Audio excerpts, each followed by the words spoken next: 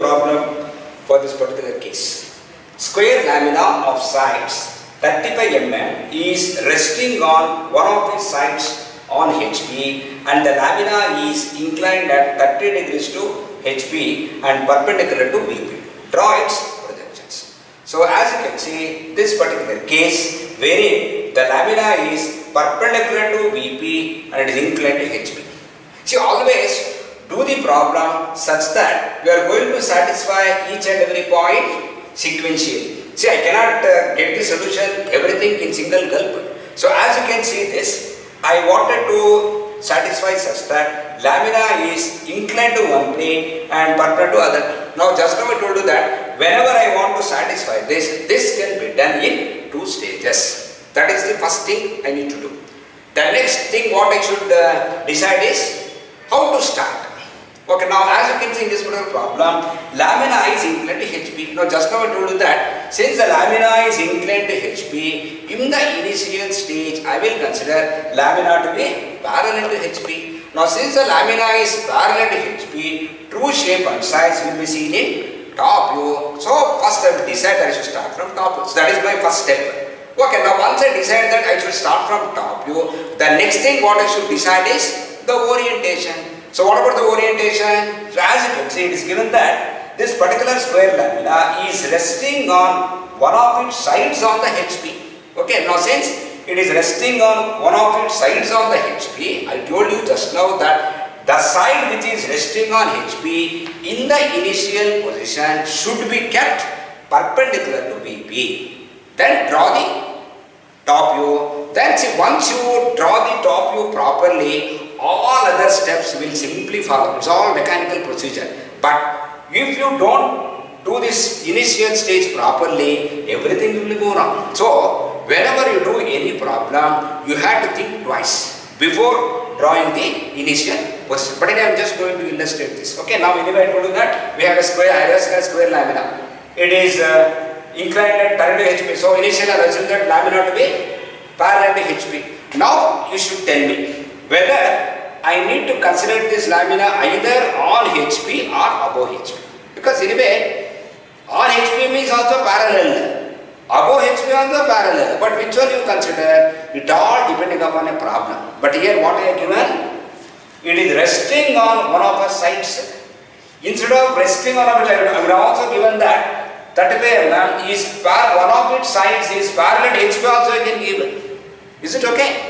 But both statements are same. The only difference is, in this particular case, since one of the sides is resting on the HP on a ground itself, initially we assume that entire lamina is resting on HP itself.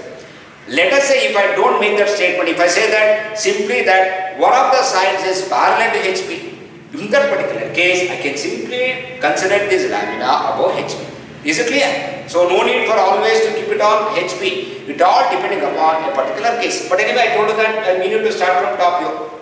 Then it is given that one of the sides is perpendicular and resting on HP. So initially I will consider this particular side. You can just see this particular side now. So this particular side I will keep it perpendicular to VP. So this is my initial position. So initial position what to do then? I will look from the top view. If we look from the top view, I can draw this particular square here. And if we look from the front view, what will happen? In the front view, of this particular lamina, since it is perpendicular to VP, it is seen as a line. So where do you draw that line? This particular lamina seen as a line, I will be drawing it on the XY line itself. Because I wanted this particular one of the sides to rest on the HP or rest on the ground. Otherwise, I would have kept in this view. Okay. So this is my initial view. So what is the next view? In the second stage, I need to satisfy the inclination of the lamina. Okay, where do you show the inclination of the lamina? Just now I told you initially. What I said? The inclination of the lamina will be shown in that particular view wherein the lamina is seen as a line. So where it is seen as a line? In the front view. So in the front view, I will incline that line. So if I incline that line means I am inclining the lamina itself. Okay. So now either I can incline like this, incline like this, especially for square lamina. Because anyway square lamina, no, this is, these two sides are parallel to one another. So obviously even if I lift in this way, rest one of the sides on HP. Even if I lift in this way, then also rest one of the side HP. but generally we lift in this way only. Okay, let us say we lift in this way. How much lift? I will lift this lamina such that this inclination, this particular inclination should be equal to 30 degrees. So once I lift it, what will happen? That particular line, the lamina which, which would have been seen there should be inclined. That should be inclined to xy line by 30 degrees. Okay, now once I do that, what will happen to your uh, corresponding uh, top view now? In the top view initially, I would have seen the true shape. Now the lamina is inclined to HP. Now since the lamina is inclined to HP, what about your new top view? Your new top view will no longer will give the true shape. It will give what? It will give the apparent size or I can say it will not the true shape.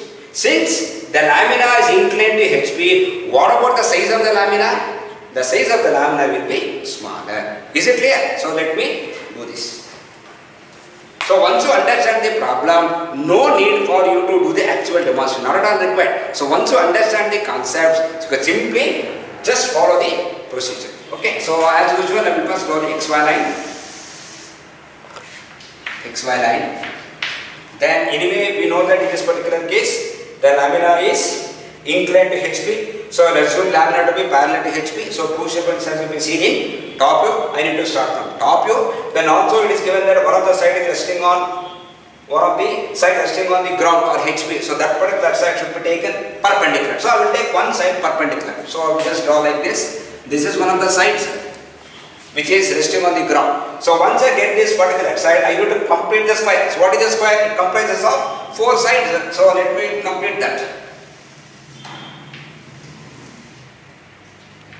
Okay, now I just drawn the square.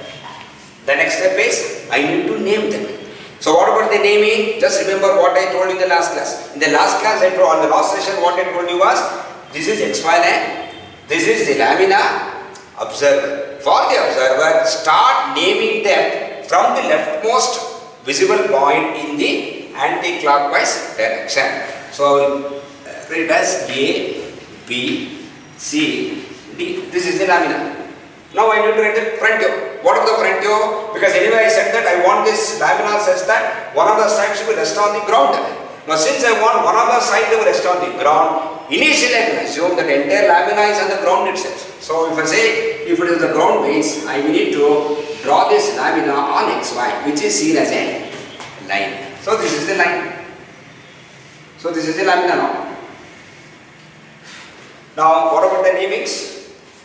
So I can see this A dash, B dash, C dash, D dash in brackets. So again I, I don't want to again explain this too much. You know that. So for the observer only A and B can be seen, C cannot be seen, bracket, D up be brackets. bracket. So of course they are all dashes because it is a front end.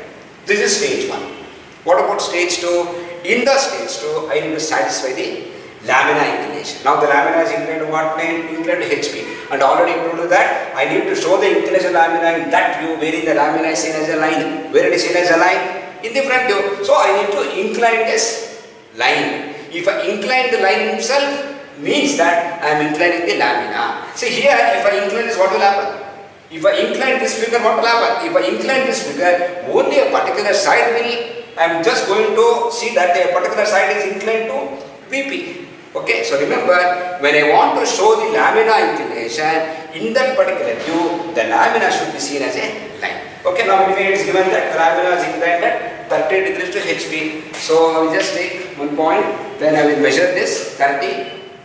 I mean this particular uh, side which is given as 35 mm in this particular case. So this is the lamina. So that it will be here just I am just redrawing the figure. I am not doing anything. I am just redrawing the lamina such that I need to satisfy the lamina inclination. So this lamina inclination is given how much? It is given as 30 degrees. Now since the lamina is inclined, as you can see, the lamina will become smaller in size because the lamina is inclined to HP. Since it is inclined to HP, in the top view, it will be smaller in size. So how do you get your final top view? To get the final top view, I need to draw the vertical projectors from the new front view and draw the horizontal projectors from the previous top view. So just remember that. Okay, just I am going to draw these projectors.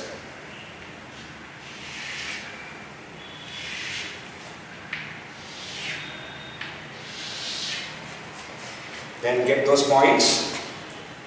A means A. Let's see this. This is a vertical projector, horizontal projector. Vertical projector, horizontal projector. Similarly, C and D. And then join them in the same proper sequence. So what are the sequence? A to B, B to C, C to D, D back to A. So now as you can see, this is the final figure. Why it is a final figure? Now we can see, if I see this particular figure, still in one of the views it is seen as a line. Line means what? That particular plane should be perpendicular to what plane then? Since it is seen as a line in the front view. So since it is seen as a line in the front view means what?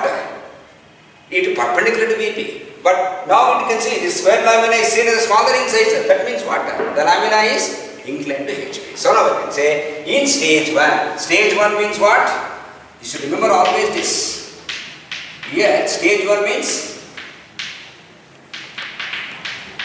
lamina is parallel to HP and